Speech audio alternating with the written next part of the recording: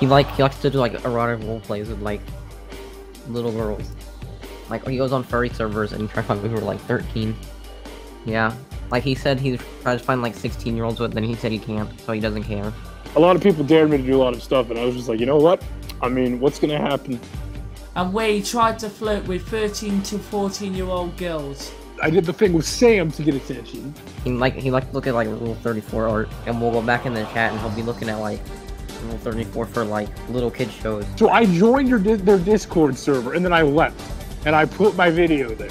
This entire situation never had to be started. I didn't raid your server, Jack. You did. No, I didn't. Dan You told me to do it. No, No, I was only No, doing. you know. I was. No.